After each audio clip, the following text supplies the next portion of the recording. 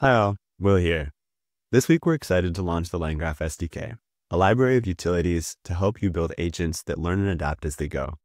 As a part of the release, we wanted to review the high-level concepts driving the development of the library, as well as share a mental framework you can use to more effectively leverage memory to build more reliable and personalized agents. Memory is a broad concept, and we believe that rather than building a generic, general-purpose memory layer, most successful AI applications today will benefit from leveraging domain specificity and using memory to accomplish concrete goals. If you think about the specific capabilities and knowledge your agent needs in order to successfully accomplish its tasks, you can typically map this onto distinct memory types. One analogy I find useful is thinking about how computers represent information. Computers typically distinguish between data, which is static or dynamic information, and code, which are instructions and procedures to follow. We can think of agent memory in similar terms. Semantic memory acts as the data store. It stores important knowledge, relationships, entities, and other information that is useful to ground the responses the agent might have to the user. Procedural memory, on the other hand, acts more similar to code. It encodes the rules, behaviors, and other information needed for the agent to know how to respond and how to act in a given situation. Episodic memory sits somewhere between the two. It stores information about past events in the form of few-shot examples. They instruct the agent how to respond in a manner similar to procedural memory based on prior attempts. They also encode a lot of information about what the agent did in the past, similar to semantic memory. Taken together, the semantic, procedural, and episodic memories tell the agent both what and how to act in a given situation. If implemented effectively, these combine with the language model's underlying reasoning abilities and your own code to accomplish whatever task you might need in your application. Let's go a step further in grounding each of these memory types with examples, starting with semantic memory. Semantic memory encodes facts, knowledge, and their relationships into some sort of underlying storage. This is typically what most people think of when they think of long-term memory. People want to jump straight to knowledge graphs or vector databases, and both of these are valid ways to store information. In our experience, we've seen two representations to be the most common, collections and profiles. Collections refer to storing memories as distinct records in some sort of database. In the context of LangMem and LangGraph, this is typically stored in LangGraph's long-term memory storage layer, the base store. New memories are formed by extracting new records in the database. Each memory can either be an unstructured string or take on some level of structure based on the schema you provide.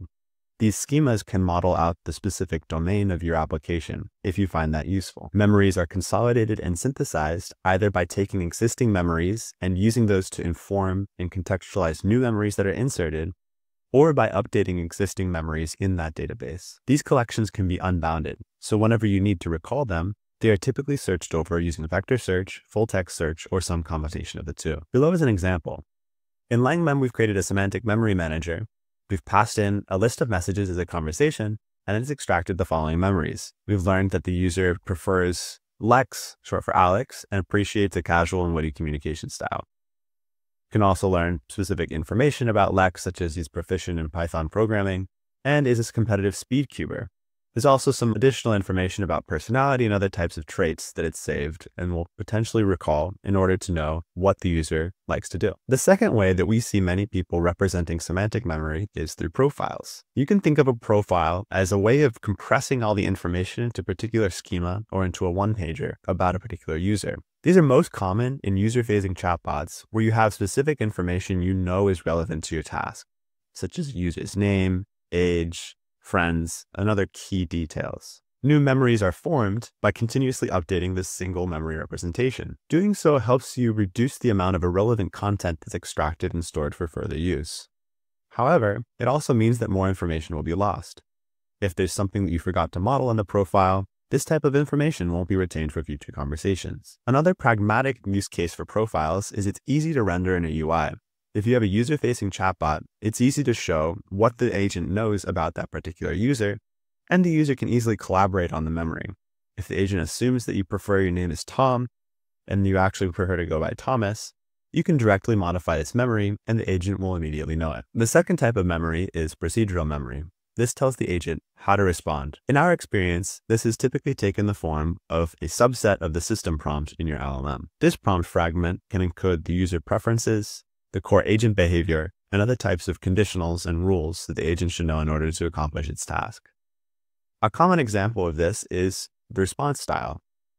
If you go to ChatGPT today and you ask it to draft a blog post about memory, for instance, the output is not going to look like the style that you probably prefer. Rather than having to manually write the instructions in the system prompt, and rather than having to restart from scratch on every new conversation, it should learn over time that you prefer a particular voice. A simpler example would be having it remember that you prefer to write with proper types in TypeScript rather than raw JavaScript, or that you prefer to be writing things for front-end development rather than back-end. Or it can even infer that since you, the user, are now an expert in AI, it doesn't have to rehash all of the 101 level content before jumping into the details for advanced concepts. It can learn the level of detail appropriate to responding to you. LangMem exposes this through prompt optimization. This is meant to be learning online from feedback or from natural conversational examples. Here's an existing example.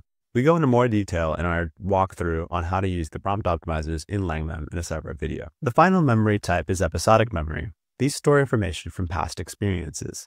This encodes both how the agent can respond and what is done in the past.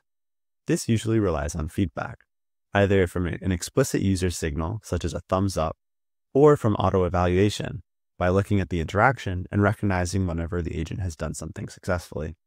It can save the trajectory of the input as well as the expected output to the store. In future rounds, it can then fetch these semantically based on what is similar and achieve similarly good behavior and avoid diverging on hard examples. So in conclusion, memory is an exciting topic and the core component in building adapting, personalized, and self-improving agents. For the foreseeable future, we believe most successful applications of memory will be application specific, and that engineers that start from a point of thinking about the type of information the agent needs to learn in order to know what and how to act will find the most success. While this video is purely conceptual, we encourage you to check out the LangMem docs, as well as our other videos instructing how to apply LangMem and these memory concepts in your agents. Thank you again, and see you next time.